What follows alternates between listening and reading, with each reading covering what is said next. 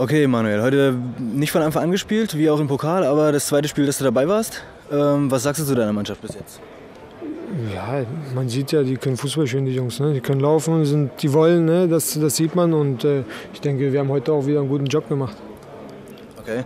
Ähm, ich habe das Gefühl, du bringst ein bisschen Ruhe ins Spiel, wenn du kommst. Ähm, wenn du reinkommst, ähm, hältst den Ball vielleicht einen Moment, zeigst auch an, habe ich im Pokal gesehen, zeigst dir äh, Wege an.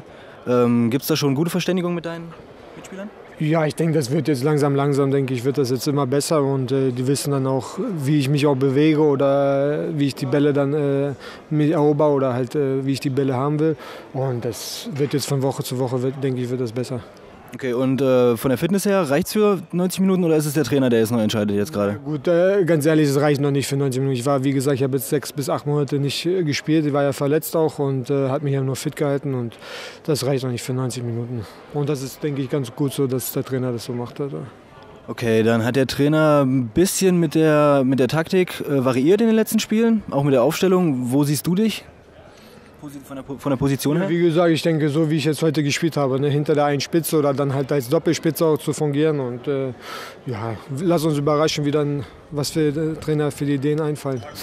okay, und äh, hier in Halberstadt fühlt sich wohl? Hast du hier eine Wohnung gefunden? Oder? Ja, bis jetzt noch nicht. Also bis jetzt bin ich vorübergehend noch im Hotel und, machen wir jetzt mal in Ruhe. Jetzt ist mal Fußballspielen wichtiger. Okay.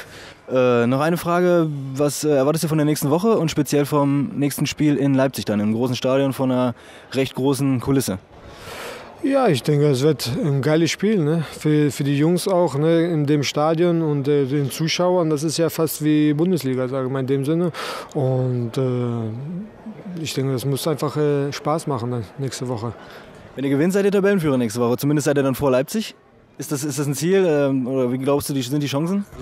Ich denke, die Chancen stehen gut. Wenn wir diszipliniert und taktisch äh, gut spielen und äh, mannschaftlich hinter, hinter dem Ball stehen, und, äh, dann denke ich, wird das äh, ein schweres Spiel für Leipzig.